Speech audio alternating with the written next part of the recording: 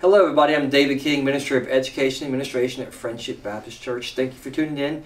This is our weekly adult Bible study. We are in uh, Explore the Bible here. We're on page 37. We're talking about the choice on Proverbs chapter 4. I'm so happy to have two great guys with me. These guys are wonderful. They help out. They have a passion for the Lord, and I think you're going to receive a lot today. But I'm so glad that you just tuned in. Don't forget to go to our YouTube channel or, or go to our website or any information. Uh, we always the information we can send it back to you. Uh, we understand, Brother Mike, that we have people from different states tuning in, Yes. and it's just amazing. I think God does amazing things when mankind can't. Amen. Amen. It's good stuff. So I'm so glad you're here. I'm gonna ask these guys to go ahead and uh, introduce themselves, and then we'll kind of go into a prayer time. Go ahead, Brother. Mike. Um, I'm Lee Lindsay, uh, the co-teacher of the Faith Keepers. Good. And I'm Mike Fisher, the teacher of the uh, Faith Keepers class. And the Faith Keepers class is a really active class in our church. And so if you come to visit us, all of our Sunday school classes are wonderful. I think the Faith Keepers are a great class to start, right? Amen. That's good stuff. Well, every time we meet, we always pray, not for praying's sake, but, but because we need to invite the Lord into what we're doing. We need God's help.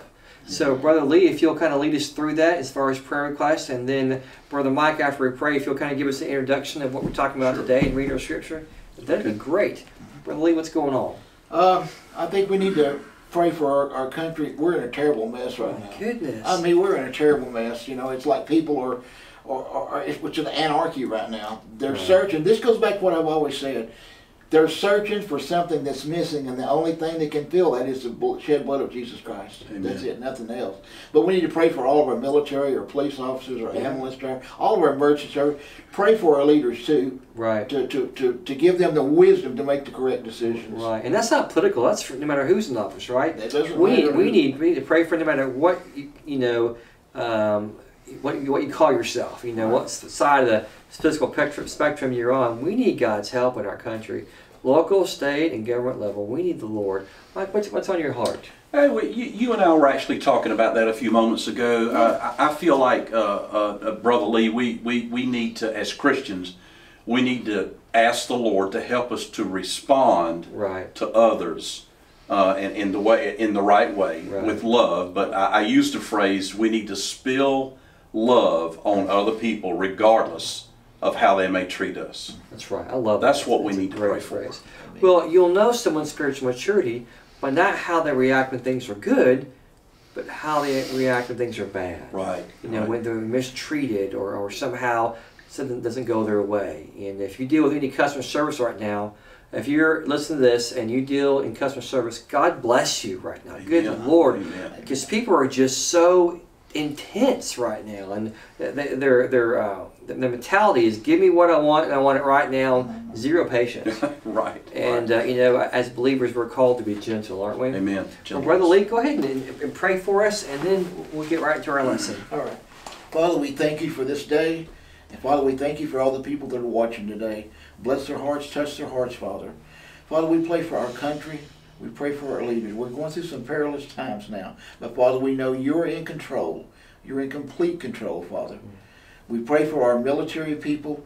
Father, keep the protection hand of, of them. Guide them. Father, we pray for the all of our emergency workers. Be with them, protect them, Father. We pray for our leaders of our country. Give them the wisdom, the knowledge to make the correct decisions, and protect them also, Father. We pray for uh, all the people in the churches that are ill, that are sick, that need the prayers. Father, we know that out there there's hope, that there's salvation. They just have to learn to accept it. It's a decision they need to make, Father. And we pray for uh, the community that you will lead us and guide us to the other side, Father. That we will go through that door and will go out there and be messengers for you, Father, as we're supposed to be. Mm-hmm. And Father, we ask all these things in Jesus' most precious name. Amen. Amen. Thank you, Brother Amen. Lee. Well, Brother Mike, we're in Proverbs chapter 4. So kind of give us an introduction that you have prepared for us, and then go ahead and read. What you you, know, got? you know, guys, life is, as, as you well know, life is filled with choices. Yes, sir. Lots of choices. Sometimes it may seem like we just have too many choices. Yeah. Like getting a simple car wash. Yep. I thought about this when I wrote this out. Do you want to wash only? Do you want to wash in a wax? Do you want to wash, wax, and the tire shine? Oh, boy. Or maybe you just want the wash, wax, tire shine, and maybe add the rain repellent. What about buffing the car after it's been dried? Yes, indeed. Check. a lot to think about, many choices. So, in our context of Scripture today, we realize how much value Solomon places on getting wisdom mm-hmm. and understanding that can only come from the instruction of God's Word and the application of mm-hmm. God's Word. Not just the mm-hmm. instruction, but the application of God's Word. He knew that wisdom would protect him from foolishness and give him a life of respect and honor. His father, King David, always encouraged him to embrace wisdom and consider her a priceless treasure. Right.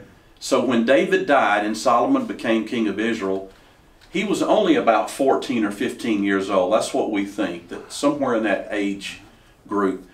He had an encounter with the Lord in a dream. So dreams are very important. God does speak through dreams. Solomon uh, only asked God for wisdom to lead God's people in obedience to him. God gave Solomon that wisdom and he became the wisest man ever upon the face of the earth. Solomon also wanted what was best for his son, for his son. He taught his son that life is about two choices. People who obeyed God, godly instruction took a pathway to satisfaction, and people who rejected God's wisdom took the path of wickedness. Solomon, like any other dad, could only point his son in the right direction, but he could not make the decision for him regarding which road to take. It's interesting that Jesus pointed out these two roads himself. Hmm. He did that himself in Matthew chapter 7, verses 13 and 14. He said, Enter ye at the strait gate, for wide is the gate, and broad is the way that leadeth to destruction, and many there be which go in thereat. Because strait is the gate, and narrow is the way which leadeth unto life, and few there be that find it. So Jesus made it so plain in this scripture. He simply said that there's a wide road that leads to destruction. Mm-hmm. That separation from God forever mm. in a place called hell. But there's a narrow road that leads to everlasting life that is that is to spend eternity in a place called heaven and to never be separated from God forever in a place mm. called hell. Mm. So we must teach our children the right way to go, but more importantly, we must show them by example the right way to go. Mm. Yes, it is easy to stumble and to be thrown off course, but guarding our hearts and minds is a God centered exercise to keep us focused on the way of righteousness. Solomon tells us to avoid the pathway of the wicked. We are to turn away from it, or we may be drawn into that snare of the devil. He even reminds us that there are some people so wicked that they cannot even sleep at night mm. unless they're devising some scheme to cause someone else some harm. Wow. It is as though they get some sort of a high, you know, by hurting someone else. But the path of righteousness causes light to be spread out everywhere they go so that others will see our good works and glorify God. Now, of course, good works do not does not save us, but they are an expression of walking with God in the right pathway. We are called by Solomon to attend to God's word. That means to study it and to hide it in our hearts that we might not sin against God. We're also reminded to ponder the path of our feet. What does that really mean? Well, let us answer that with a scripture. Psalm 119, 105, you guys are familiar with it. Thy word is a lamp unto my feet mm-hmm. and a light unto my pathway. Proverbs 16, 9, and I close with that says, A man's heart deviseth his way, but the Lord mm-hmm. directs his steps. I like that. That is our introduction, gentlemen, to this like. Proverbs 4 Very today. excellent. Excellent. Thank you, brother. Go ahead and, and get in Proverbs chapter 4 and verse 11. If you if you'll have your book, we're on page 37. If you're not, just you know use the iPad or cell phone, whatever, and get to Proverbs chapter 4. And uh, I think we're starting on verse 11. Is that correct? Verse 11? Yep, yep. Yep. And we're going to read that, and I think you can kind of see where we're going. Go ahead, brother Mike. Okay. Uh, starting in verse 11 I have taught thee in the way of wisdom, I have led thee in right paths. When thou goest, thy steps shall not be straitened, and when thou runnest, thou shalt not stumble. Take fast hold of instruction, let her not go. Keep her, for she is thy life. Enter not into the path of the wicked, and go not in the way of evil men. Avoid it, pass not by it, hmm. turn from it, and pass away. For they sleep not, except they have done mischief, and their sleep is taken away unless they cause somebody to fall. Hmm. For they eat the bread of wickedness and drink the wine of violence. But the path of the just is as the shining light, that shineth more and more unto the perfect day. The way of the wicked is as darkness. They know not at what they stumble. Mm. My son, attend to my words, incline thine ear unto my sayings. Let them not depart from thine eyes. Keep them in the midst of thine heart, mm. for they are life unto those that find them, and health to all their flesh. Keep thy heart with all diligence, for out of it are the issues of life. Put away from thee a froward mouth, and perverse lips put far from thee. Let thine eyes look right on, and let thine eyelids look straight before thee. Ponder the path of thy feet, and let all thy ways be established. Turn not to the right hand or to the left. Remove thy foot from evil. Excellent. Wow, Thank you. Wow. You Yeah, really good. We have a choice to live godly or not live godly. A choice to, to feel and be satisfied with God, and a choice not to be. That's right. It is his choice. Go ahead and read, Lee, if you don't mind the beginning of our, of our, of our, of our uh, study here, page 37, the All first right. paragraph there. The choice. Proverbs 4 11 through 27. Life is filled with choices. Maybe too many choices, Yeah. but choices nonetheless. Hearing the truth demands a response as well, a choice to either embrace or reject the truth. There is no neutrality when it comes to the truth. Neutrality is a choice to reject the truth.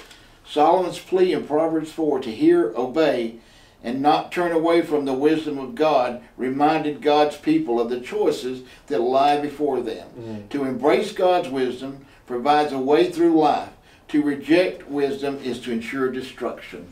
So if you don't follow God's plan for your life, you will have destruction. There there will be no peace in your life. So right now, I think people want, uh, they, they look at Christianity the, the way they look at a buffet. They like a little bit of this, a little bit of that, a little bit of this, a little bit of that, and they put it on a plate because it makes them happy. But with God, either God is Lord of your life or He's not Lord at all, right? Amen. He's Amen. either one or the other. Amen. go ahead and read uh, on page 38 there. Okay, that'd be the second paragraph. Yes, sir. In chapters 1 3, Solomon began to lay out the dimensions of God's wisdom. He then called God's people to hear and attend to know understanding. He knew that information does not necessarily mean transformation, and facts do not always lead to obedient faith. Solomon urged God's people to hear and apply God's truth. So, Brother Lee, what does it mean that just information itself won't lead to faith? What's that mean?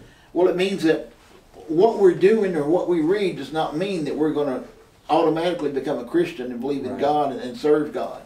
And uh, we we have choices to make of that, and that's uh, salvation from the Lord is given freely. Right. It was given freely to us, and uh, there's somebody that's watching this, and I know the world's in a turmoil right now. Mhm. That they're thinking there's no hope in this world. There is hope. Mm. We just recently had a, a sister in our Sunday school class that was told she had 24 hours she may not be here. Hmm. And the, we've been praying, and 24 hours later, she's ready almost to go home in a few days. There's your hope. Hmm. That's the hope, Jesus Christ. Yeah. Amen. Yeah, we're, we're putting scenarios right now where uh, people, at the very best, say there's no hope. Uh, you know, with, with coming out of this thing, you know, I hear watch on TV where people say it's going to be years before we change. It's going to be years before we're back to normal, and some of that may be true, but with, there's always hope with the Lord. There's always hope with the Lord. Amen. He, he works out in situations where things are blameless. One of the blessings of the Lord is no matter where you are and what's going on in your life, God can still reach you.